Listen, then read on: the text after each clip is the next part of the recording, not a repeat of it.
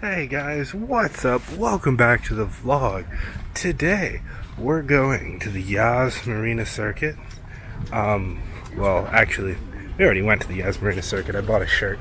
Um, I just forgot to open the vlog, so we're gonna pretend like it's the morning. We're going to the Yas Marina Circuit, um, where we're gonna we're gonna go see Yas, see some of the people we saw when we were driving, go um, take a bus around the circuit, you know, and then we're going to the Louvre, but the Louvre in Abu Dhabi. Um, it's actually where we are right now, but like I said, we're pretending it's morning and pretend I'm in a hotel room. Um, so yeah, guys, that's what we're doing. We're also going to a mosque, the Grand Mosque, later today, which I have a jacket in the car for because you're not supposed to. You're supposed to be very well covered. Um, so yeah, we're gonna go look at some pretty art. Then somewhere in there, we're grabbing lunch too. So let's uh, let's get right into this video. And again, please don't forget if you like the video to hit that like button and maybe consider subscribing. All right, guys, let's get into the video.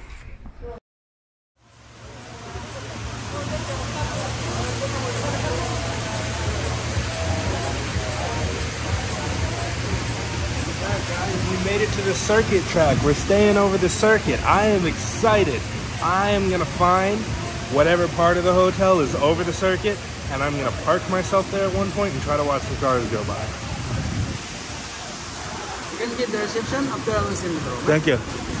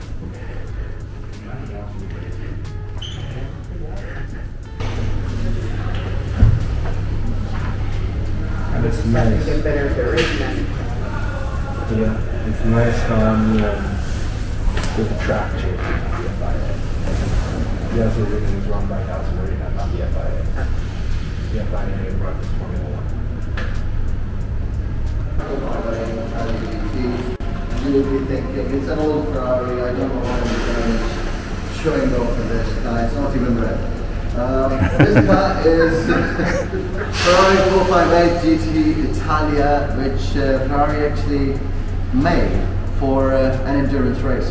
And this car has won three Le Mans 24-hour endurance races in its category, fourth time it got bent because it ended up in the barriers. So, uh, three times in Sepang, two times in Dubai, 24 hour, and two times in Abu Dhabi, 12 hour. Can anyone tell me why do we have 12 hour endurance race in Abu Dhabi? Not 24 hours. Whereas in Dubai we can have a 24 hour endurance race. Because it's hot and it's sandy? I don't know. It's same in Dubai. Any random guesses? At least you guessed. Thank you. Sorry? It's, it's too much of a temperature difference between the night and the day. Um, sometimes some of the races, yes, we figure that out. Uh, it's same as you said. Uh, but if F1 can happen, then anything can happen. The only reason is, I'll tell you, because there is a hotel built on top of the track. Oh. And if we think 24 hour endurance race, What did that- what did I think of that? As I just said, the people are there to take comfort, not Yeah. I was wondering about that. And, uh, and, we, and we told his secretary that tell his highness that uh, people actually want to hear our cars. Yeah, Oh, so if you're staying in a hotel. uh, but yeah, there were two options. Either do a 12 hour endurance race or either reduce the noise levels of the cars. So we said, no, no, we're not going to do the second part. We'll do it first part and we'll give our license to Dubai to perform that race because they were having that already. And Dubai's track is nearly 7.2 kilometers and it is uh, it can hold a grid of more than 100 cars for an endurance race. It's all good. This is one of the Italian cars I like. This is the other one which I hated, but it's here. Uh, and we're testing it. we're testing it. We're testing it. And let me tell you that, hello, yeah, yeah, carry on. Hello, hi, how are you, Thomas? Hello, everybody, good morning. How are you? Four, yeah? Four. And uh, when I tried it, it feels like it's a lightweight coupe. It is nicely engineered, it's not bad. Uh, but the first opinion I give you about the car was my personal opinion. It has nothing to do with the Yas Marina circuit, yeah? So, ladies and gentlemen, this is Aston Martin uh, GT4 Vantage V8. Uh, and that's the race control checking the track and looking a little bit sad. Um, Aston Martin Vantage is a hand-built British race car. We have a nice history in Yas Marina Circuit with Aston Martin because our first endurance race, we entered with Aston Martin GT4 N24 and that car won a 12-hour endurance race. And then FIA made a rule that if you're a racing instructor on that track, you are not allowed to race on that track because you have additional hours of practice on that track for free. Yeah. Which makes sense, and uh, from that day I'm doing tours. right, so this car is 4 litre V8 bi-turbo, and the engine was developed in Germany by AMG in Affalterbach. The engine has uh, two turbos on the top, twin scroll turbos. These are hybrid turbos which are using engine oil and a little bit of coolant water to cool down the turbos. So the engine and turbo, the temperature remains the same. This is what engineers say. But when we tested it, it was not the same. So we tried the temperature there. The difference was only 180 degrees Celsius. So Only. not really what they said was right. But anyway, it didn't break down. So that what matters.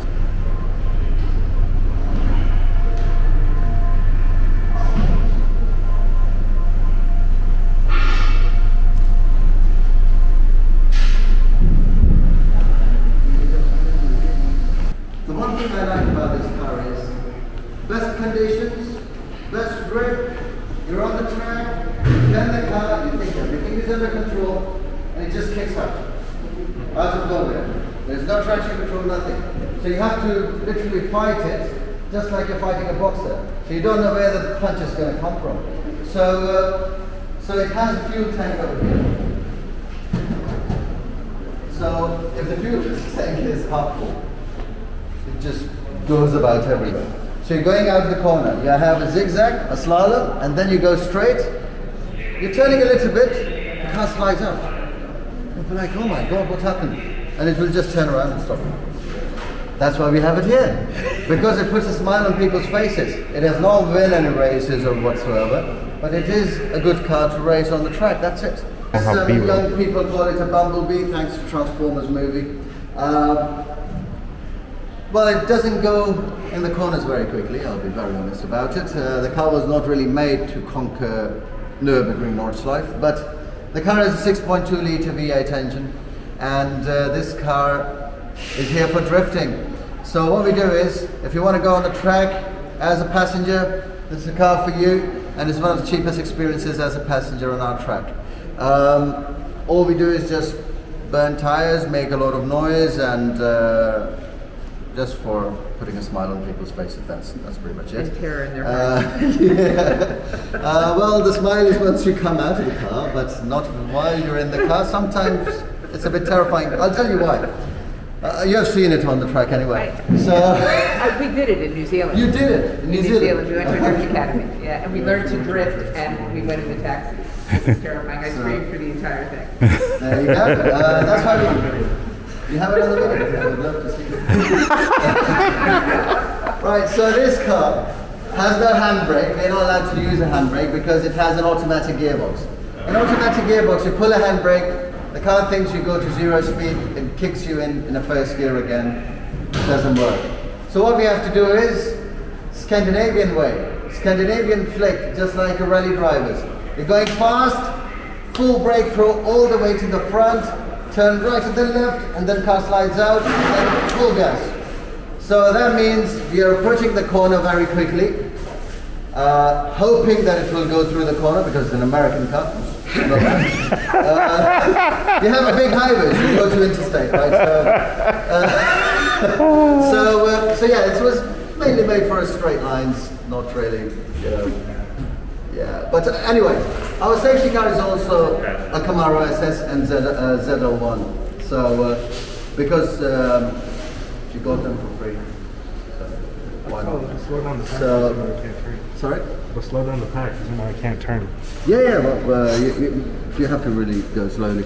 Uh, you- you've seen some videos of Mustangs, right? yeah. So there you go. That's a thing. I'll not talk good about it. So uh, that's the world we live in. Now we'll go to North Grandstand and I'll show you the corner where Max Verstappen overtook Lewis Hamilton.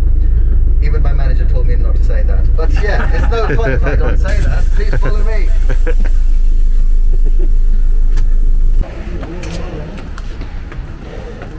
Yep, this is the corner.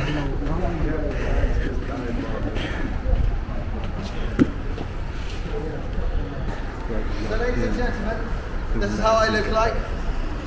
So uh, the Total Track, and by the way, our track was launched in 2009. Seats are dirty, please don't sit here. So the track was launched in 2009. The first weekend for the race was the Formula One Grand Prix 2009.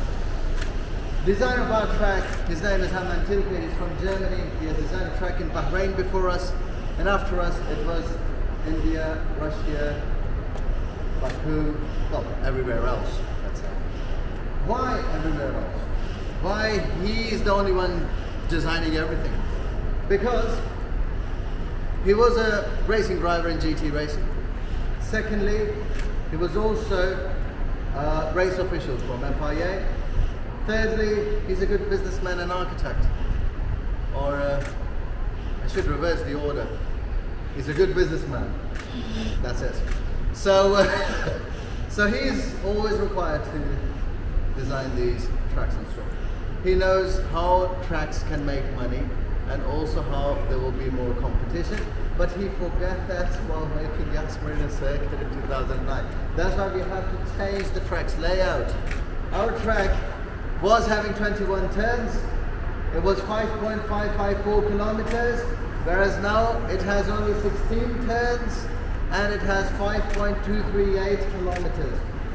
It is a fast track now, and DRS activation zone is actually where there is a blue hole where uh, where Max Verstappen opened up the steering wheel a little bit just to uh, just to say hi to them. So uh, so yeah, that's that's the place we're talking about. Now there are three things we have done differently. First thing, we don't have any race control tower. We have a race control room and 44 of those cameras around our track. So if you have seen a tower over here, that tower is for a different purpose. And we'll talk about it once we have a visuals on that tower. 480 bicycles, 82 bicycles.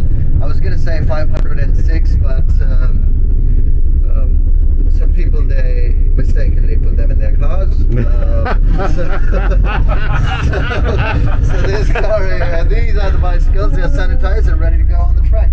Um, it is for free. You don't have to pay anything. I know when you're a tourist, you don't travel with your bicycle unless uh, you're like uh, one of my friends. He tries to show off that he's a health freak and all that. But um, but yeah, bicycles are provided, and uh, the kind of a bicycle you need is provided. So, ladies and gentlemen, we're going to the paddock of Formula One, and uh, to your right hand side, you will see the paddock entrance, uh, right mid on the front. Um, that's the paddock entrance, and you will see one one horse calligraphy drawing or uh, art over there. Uh, I said drawing in front of an artist. He was not very happy about it. Anyway, so it is an art. Every garage is air conditioned. Every garage has their own electricity distribution box, one TV, one toilet, and all the basic amenities which is needed by the people working in the garage. The distribution of the garages for Formula One That's per the points of that team. So if the team has most points, two drivers combined with constructors, they will go to first few garages. The allotment of the garages starts from garage number four. So Petronas was having four, five, six, seven half garage. Now the thing is, each team uses three and a half garages. Because we have 40, if we give one team three garages, we'll just fill 30 garages. You know, it's pretty straightforward. We have 10 teams. So, um, so that's how it works. Um, I'll open the garage door. There is a pit lane outside, it's the main pit lane. There might be some trucks, there might be some forklifts going around. Please take care of yourself. These guys are not expecting us to be there. And we don't have any high visibility jacket. So let me have a look first. Just a moment.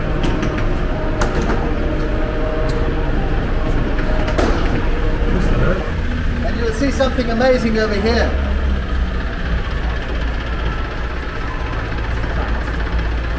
Oh. consistent garage. so yeah, that's how the teams are now fixing their stuff and uh, the thing is, anyone knows uh, about uh, MotoGP? Yeah, anyone follows MotoGP? Anyone knows about Valentino Rossi? Yep, he will be racing this weekend as well in his Ferrari. So he will be having one of those garages.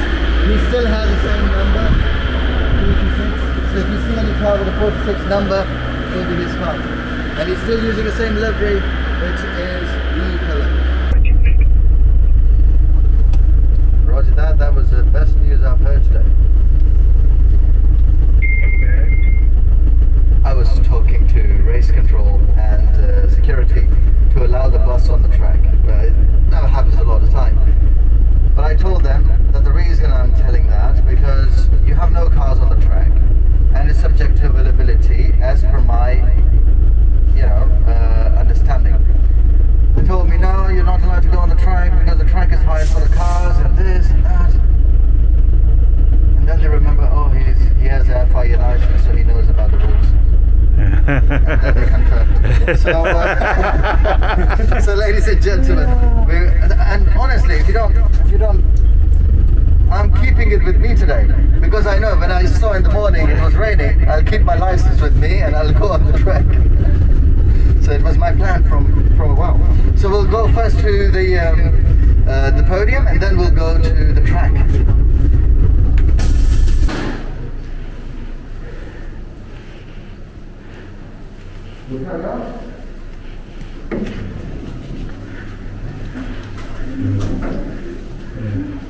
Okay, the carpet is going to be a little bit wet, so uh, I think it'll be all right. So we will go in batches onto the uh, podium area because it's very snug over there. So if you're a family, you to. Your members can join. Others can wait on the right hand side. So you can carry on this way. Others can wait on the right hand side. When you're done with your photos, please go round and come back from the podium's back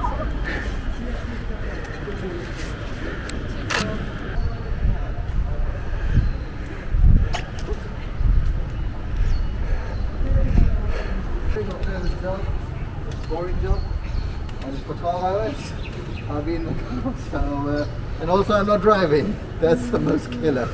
So uh, you're okay to go. You can support each other both.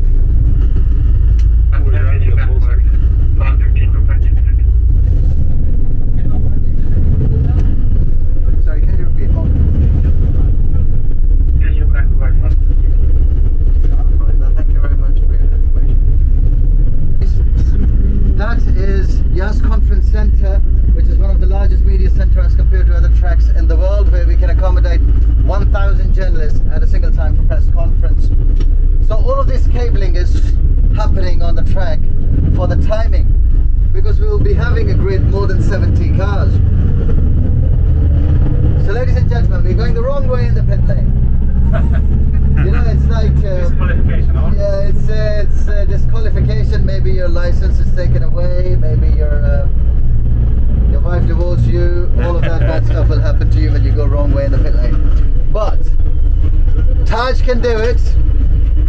Taj, Tajuddin, our driver, I have a great respect for him because he has driven on our track more than any Formula One driver in the world. so uh, this is turn number 16 and now we're going to the grid of Formula One. Right, so ladies and gentlemen, we can go off the bus for about two minutes for taking photos on P1. Carry on.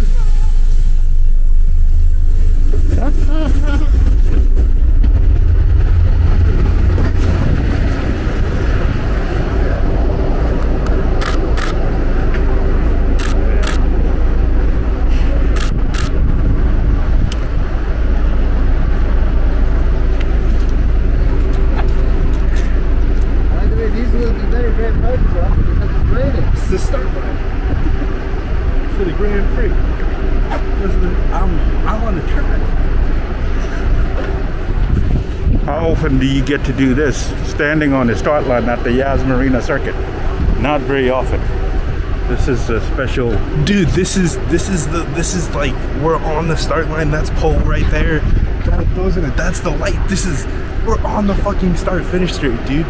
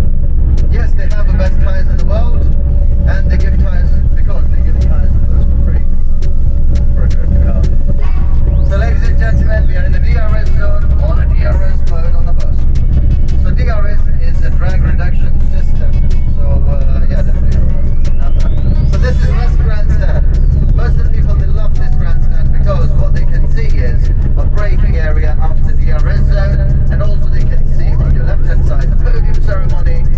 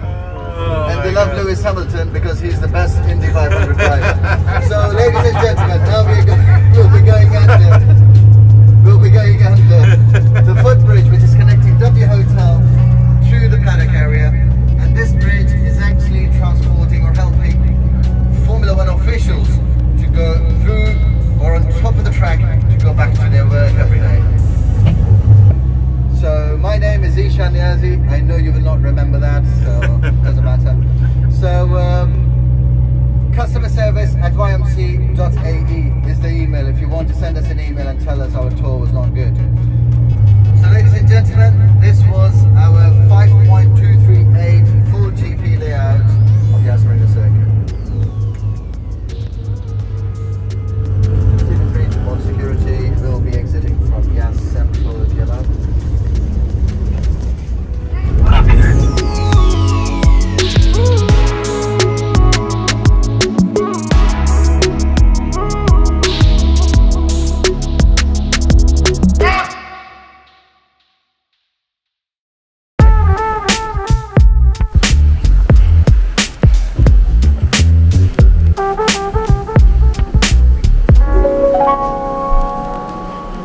Hey, Shakib.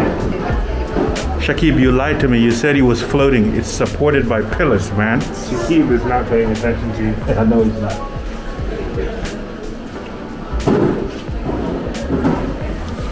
Shakib, you said that was floating. No. It's it's supported by pillars, man. It's not in the water. I want to Like see it floating like this. Instead of the floating domain which is filling the water, not is like a boat. I'm not saying like that. They say like the floating boat is like shaky.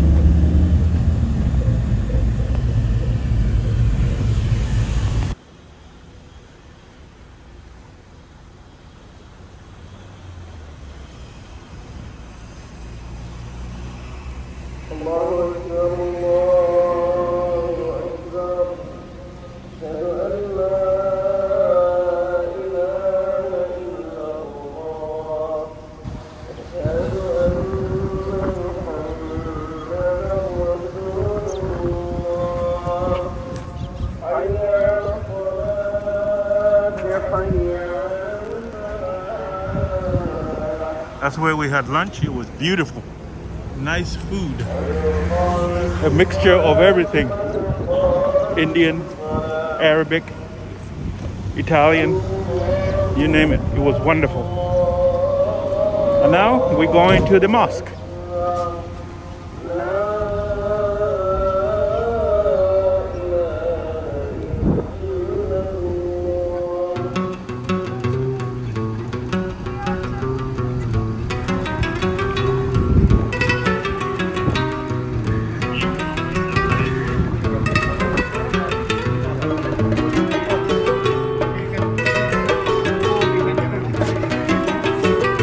Video? Inside.